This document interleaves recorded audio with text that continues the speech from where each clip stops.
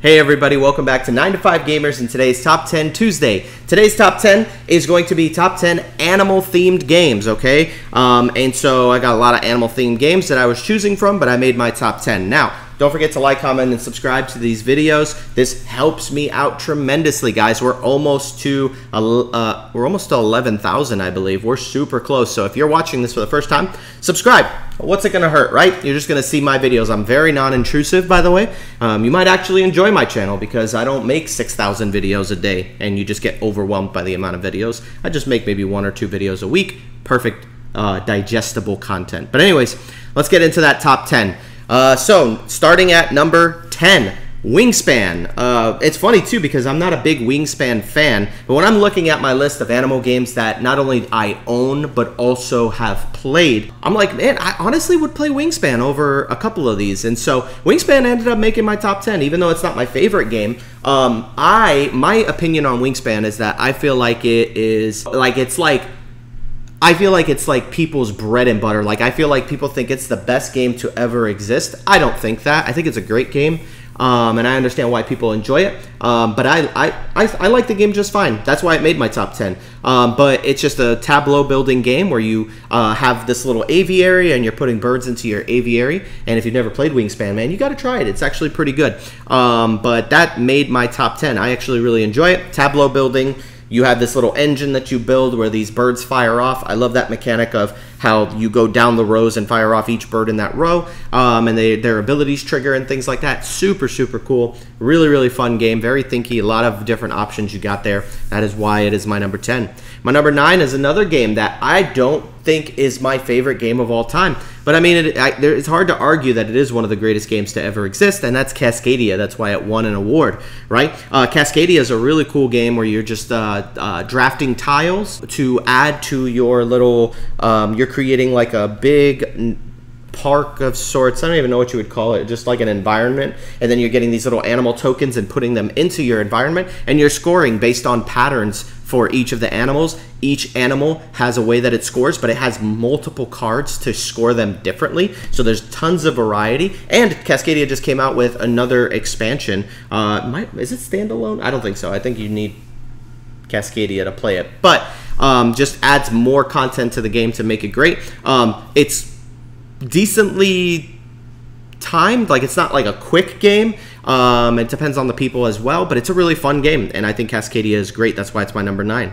My number eight is a game called Meadow. I really like this game. I actually got this game on sale. I found it somewhere. They had like a ding and dent section. I think I got it for like 17 bucks, and um, it's always been really expensive. It's been one of those games that I've been wanting to try, but I've heard great things about it, and I played it, and I was like, wow, this is really interesting. You've got this puzzle of a of a like a board where you're you're trying to place these cards out, and each card has kind of like uh, an animal or some kind of a terrain or something like that. And those animals are kind of the basis for like this little pyramid you start to build. And there's other animals that you play on top, and all of them have symbols. And those symbols, when um, you place a like a bird, for example, if there's an insect under it, you place the bird. The bird consumes the insect because that's like within its food chain or something. It's so interesting the way that they made this game, and I haven't played it in a while, and I really got to break it out again. But this game was phenomenal man. So thinky, so puzzly. Um, I, I, don't think everybody will be a fan of this game just because, it, like I said, it is pretty thinky for a game. I don't think it's super complex though. Um, but I just thought it was really cool where you're matching up these symbols and building up this little, looks like almost like a little pyramid of, of cards that you're building up. And it's super good. I really enjoyed a Meadow. It's such a good game.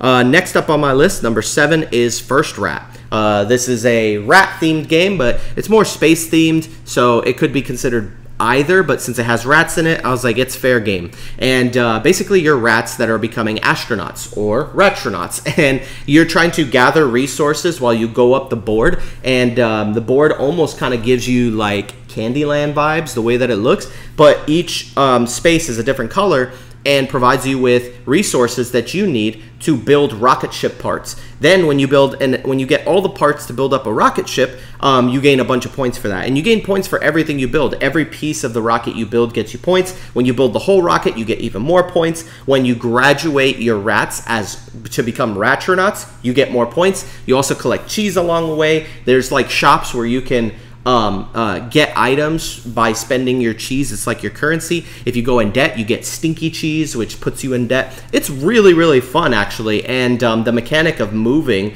like you have multiple rats on the board that you can move all at the same time, or you can move one a bunch of spaces, or you can move multiple, a couple of spaces. Like that whole mechanic is super cool. I love First Rat, and that's why it's my number seven. Next up, my number six is The Isle of Cats. Um, Isle of Cats is great, man. If you never played Isle of Cats, um, it is a polyomino game where you're placing cats onto a ship, and your ship has a bunch of little grid spaces, and you got to try to fill up your ship with as many cats as you possibly can. Cats will score more points if they are around cats that are the same color and the same type, rather. Um, and you can only place cats into your ship, um, into your boat by they have to be touching a cat that has already been placed. So sometimes you're not getting the same color, and so you're like, I'm gonna build green this way. There's certain bonuses for placing certain colored cats in certain areas of the ship. Um, and you want to just fill up your ship as much as possible with as least amount of blank spaces because you lose points for all the blank spaces. In order to catch these cats off of the island to begin with, because you're trying to rescue them, um, you have to have baskets and you need to pay fish um, to buy to, to buy certain cards. You, there's drafting in the game where you draft cards. Those cards allow you to get um, extra cats and different abilities. Um, they let you uh, get first dibs. Like if you play a lot of boot cards, that'll get you the first pick of all the cats that are out there. Um, if you play baskets, you can catch one cat per basket that you played. Um, and there's permanent baskets. It's great, man. Like I love I love cats. It's such a good game. that's why it's my number six. My number five is a game called Everdell. Everdell is just a great animal game, man. Like in that game, you play as these anthropomorphic animals, but your worker placement there's worker placement where you're trying to um, place your workers to get resources, and there's cards that you want to play um, into your city, and then you can only have, I think, a maximum of three rows of five, so it's like 15 spots. Um, and so you can only play like 15 cards down, but in order to do that, you got to worker place and um, you only have a few seasons to get all of this done. So you've really got to manage your your your resources and your cards wisely so that you can finish off strong by the end of the season. The cool thing is that people that are playing can go into the next season while the other people stay in the same season. So it's pretty interesting that you can kind of maneuver things that way. But yeah, you just get points for all of the buildings that you build and all of the different animals that you collect and some some buildings will let you get animals for free um, because they kind of like go together. There's like a link between those animals, and there's so many different iterations of the game.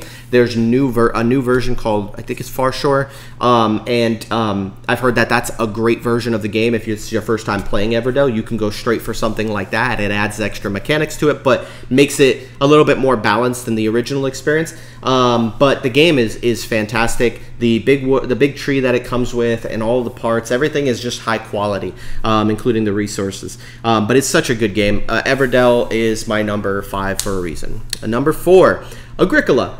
Agricola is a farming game. I think it's more farming than it is animal, but a big part of this game is having sheep and uh, pigs and uh, cows and different things like that. And these animals, you're going to try to uh, put them into pens and different things like that, and uh, uh, they will uh, award you with food and different things like that.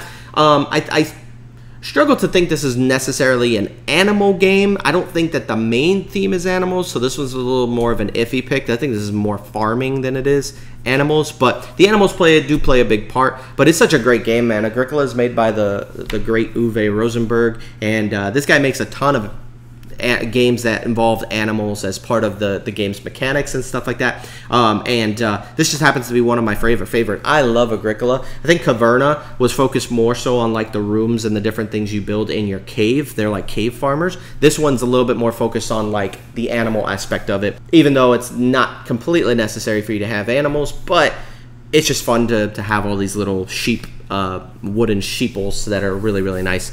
Uh, but uh, I love Agricola. It's my number four, and I love that game so much.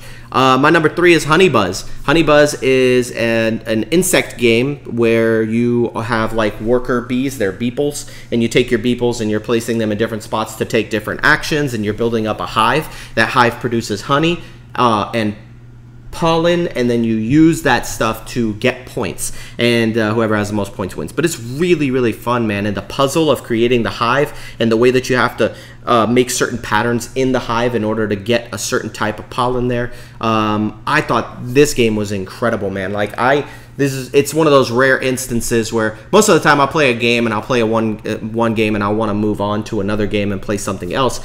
But I know a game is really good when you play it back to back and you're like, I want to play this game again. Um, Honey Buzz is a game I got to add to my collection. My friend has a copy of it, but it's a game that I want personally. I just want to find the deluxe copy of that game, see if I can find a copy of that still in shrink wrap. But it's super good. I love Honey Buzz. It's such a good game. Definitely got to give that one a try.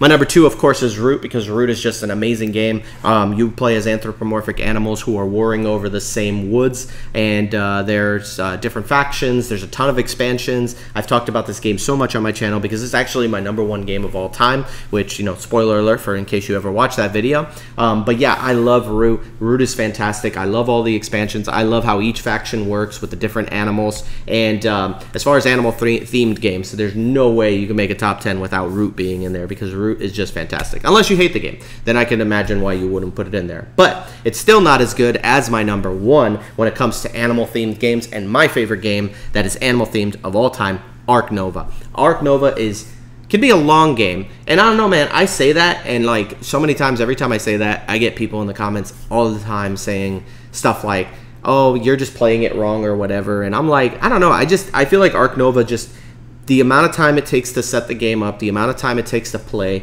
and the amount of time it takes to put everything away, it's just kind of like that's the only thing you'll do. But some people swear that they can complete it in like an hour or two. Um, and if that's the case, then more power to you. Maybe you only play at two players. But regardless of that, whether I'm playing solo or with two or with four, Ark Nova is a game I will always be willing to play because this game is fantastic. Um, you're kind of building up this little tableau of cards um, with different symbols, and those symbols will allow you to get other cards, um, which will just continue to build up. The cards have abilities that will fire off, um, but not necessarily like a engine builder, but more so just kind of like when you play them, they, they, they have an instant effect, and then some of them have a continuous effect, I believe. And uh, there's a little bit of take that, but they're not that. It's not that bad. Um, but then you've got this track of points. It's like I'm trying to work on the appeal of my zoo, and so I'm trying to go around, and it goes around um, like in like a half circle basically. And so you're trying to work on the appeal of your zoo, but at the same time, it's like I'm trying to just get animals into my zoo, but I also need to be a conservationist, so I need to, you know, do conservation, which is another track that goes in the opposite direction. And when both of the appeal and the conservation cross paths, that's when the game ends and then you score. Um, but it's I thought that was really really cool the dual track thing and the fact that you have to kind of do a little bit of both and you kind of just have to you can't just work on just appeal because people will pass you up and win quicker if they do a lot of the conservation. Conservation gives you a lot of points, so you got to do those. It's like setting your animals free, which is really cool because on you you're building up a zoo. There's polyomino pieces that you place on your zoo and you make hab, uh, habitats and different things enclosures for your different animals. But then when you release animals through conservation, you got to get rid of those animals from your zoo. So it's pretty interesting. I, I, I love Ark Nova. There's there's so many rules. There's so much stuff to the game. It is complex. It is complicated, but it is such a good game. It made the BGG top uh, 100 games of all time. Uh, I think it's is it in top 10? I don't even know. It might it might be in top 10. I'm I'm not 100% sure. Uh, maybe not, but it is super super good. It, it rose in popularity and in fame uh, for a reason because it's fantastic. That's why it's my number one. Anyways, thanks guys for tuning into this video. Don't forget to like, comment, subscribe on these videos. Let me know what are your favorite animal themed games in the comment section. Keep that comment section alive. The more that you guys comment, the more that you like the video, the more that YouTube will say, hey, people actually like this content and start pushing it out there. So please hit that like button. It helps out a lot. And uh, if you're feeling generous, become a member. For $3 a month or more, depending how much you want to do, you get some behind the scenes footage and some extra videos off to the, to, uh, sorry, you get some extra video content um, that you'll get right through becoming a member. So become a member. You should see the join button. If you don't see it, you can always look it up on a computer. I want to get as many members as I possibly can so that we can continue to fund this channel. Thank you guys for your support. Love you guys. See you guys later. I love First Rat, and that's why it's my number seven.